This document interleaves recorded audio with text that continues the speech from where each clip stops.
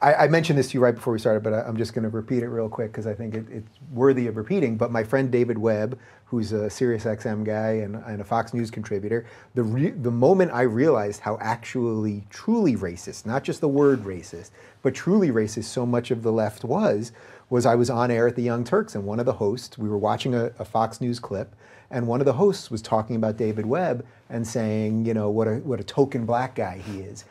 And I remember thinking, I know him. I just had dinner with him two weeks ago. This guy believes what he believes. That's racist. Right. What you just said is racist because you look at a black man and think if he doesn't think the way you want him to, that he's a token. That this is the essence of prejudice, prejudging. Right. right. And people can't they can't take that and apply it somewhere else. Like if someone said to you, "Hey, because you're black, you must listen to hip hop music and wear your pants low," you'd say, "Hey, that's ridiculous. You know, you're stereotyping. That's racist." But if someone says to you, "Hey, you're black, so you you know you should be a Democrat," they don't apply that. That's the exact same sort of racism. Yeah. You know. Yeah, so, yeah, yeah. Well, it's a phrase that that Bill Maher used to say a lot, but originally it's from uh, George W. Bush which is the soft bigotry of low expectations. Absolutely. Yeah. Absolutely. God, that must be endlessly patronizing to have Yeah. to deal with that bullshit. Yeah, absolutely, it is. And you know, the most refreshing thing in the entire world is that there are a lot of Black people that reach out to me on Facebook and say, "Thank you so much. I'm, I'm finally feel like I can come out and say that you know I disagree with the way that things are going." That's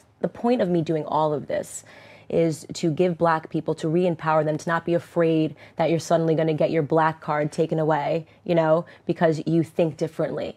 And to really challenge them to think as independents